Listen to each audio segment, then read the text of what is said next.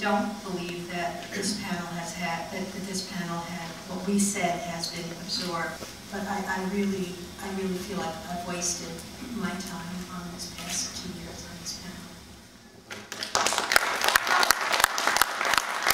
Uh, We're back uh, to a situation uh, where uh, EPA appears to want to just simply spend the money and- and walk away from the problem.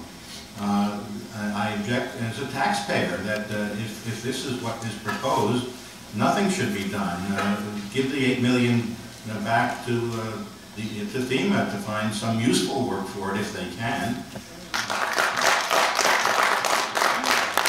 My advice to you, as, um, as someone that lives down here and as someone, you know, as a medical person, is you better reconsider, because this, this is a very, very big mistake. But we went through 21 months of, you know, of of collegial and technical discussion, the essence of which is ignored in the final product produced by EPA. And, and I think that this sampling plan and, and this panel process does a tremendous disservice to the panelists, to EPA, and, and to the people in lower Manhattan and possibly elsewhere uh, whom we're supposed to be helping. Um, This, this plan, if implemented, suffers on, on, on two, in two basic matters. One, one is it's, it's scientifically and technically flawed, and I hope we can get into some discussion of that. And second of all, the participation rate, uh, there's no incentive to participation because it's clearly flawed. And, and uh, frankly, I don't see any, any possibility of success in terms of enrollment, let alone in terms of acquiring uh, scientifically useful data. As public health officials, as environmental policy officials, we should never be in a position where we do something and then leave data behind that only adds to people's aggravation, concern, and only creates a bigger problem. That's the danger. It's not just the absence of science, but it's the extraordinary uh, likelihood of failure. And that failure uh, will not be the failure of the panel or the failure of the community, but will be the failure of EPA, which would be a, a great disservice to the many uh, people at EPA who work hard and who work competently to make things happen in the city.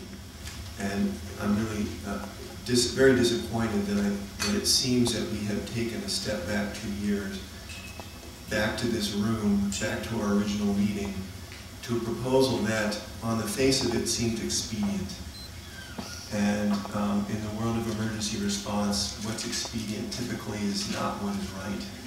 I just want to remind everybody, this is what it looked like on September 12th outside our window when Rocky the World Trade Center. And I can't believe that we can send people to the moon and they come back, and we can't figure out what's in our HVACs and whether it's a to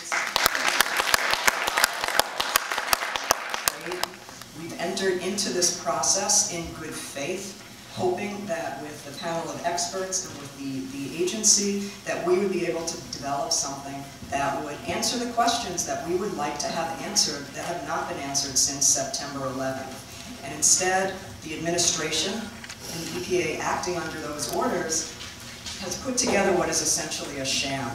And the sad part is that if this plan goes forward, we will be no closer to having an answer to the contamination left by September 11th. We'll be no closer to having protection for the health of our families and our colleagues at work. But this plan does serve a purpose, and that's um, in, in reference to Mark's comment. We believe that the purpose of this plan is to forward the administration and the EPA's cover-up. And with this plan, the EPA will be able to walk away and say, there is no contamination, there is no problem, we're done with the process.